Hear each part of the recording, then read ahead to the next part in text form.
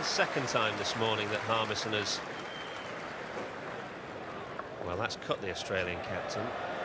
Hayden took one straight on the helmet. Ponting, I think the ball has snuck through that gap between the grill and the peak of the helmet, and he's in trouble here.